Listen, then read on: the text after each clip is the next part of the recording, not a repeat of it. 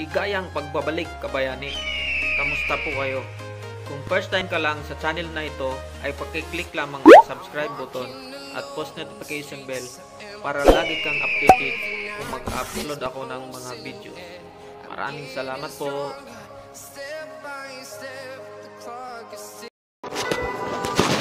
Ano nga ba ang buhay ng isang OFW? Ang kwento ko ito ay para sa inyo. Saludo ko sa lahat ng mga OFW saan man sulok dito sa mundo. Ano nga ba ang buhay ng isang OFW? Masaya nga ba dito? O tinatago mo lang ang tunay na nararamdaman mo? Sabi nila, mayaman daw ang mga OFW. Maraming pera, sumusweldo buwan-buwan, at nabibili ang mga luho na gusto nila. Pero di nila alam kung anong hirap ang pinagdadaanan nila.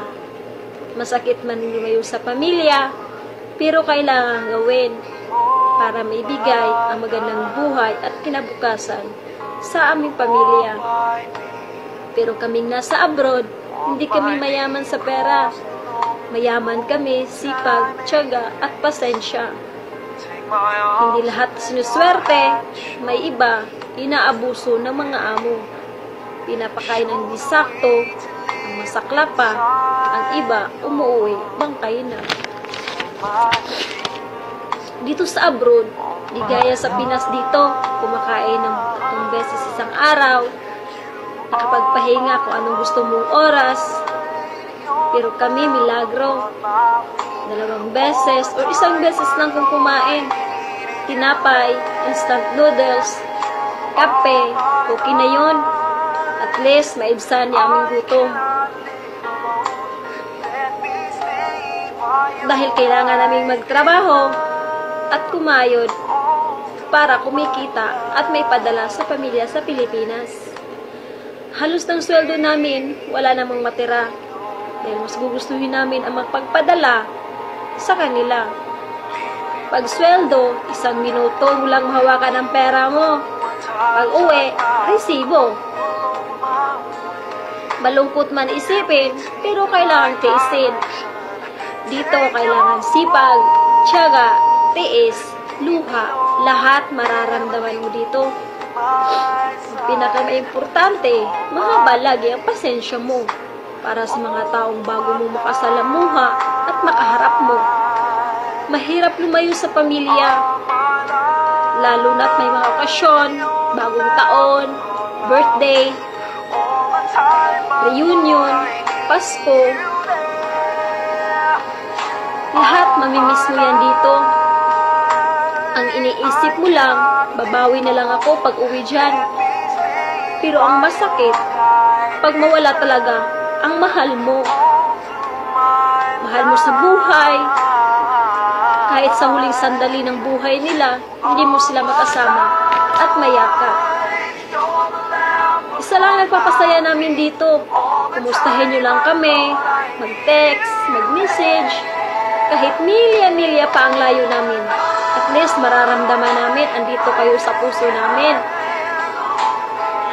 Makita nyo man kaming masaya,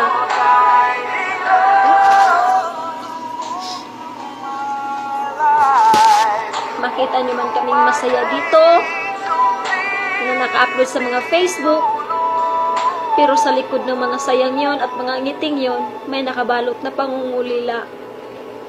Mahirap ang isang OFW dito hindi mo man maramdaman sa Pilipinas pero dito mararamdaman mo lahat.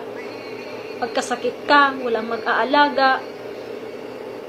Pagod ka pero kailangan mo kumita, kailangan bumangon at magtrabaho. Hindi madali. Lahat yan. Tinitiis mo lang. Pero ang pinaka-importante dito, yung tinatawag nilang homesick. Pag yan tumama sa'yo, kahit sino ka pakatapang na tao, hindi mo mamamalayan. Mata mo, tumutulo na pala. Pero ang iba, sinasabi nila, nag-iba na ang mga OFW pagdating sa Pilipinas.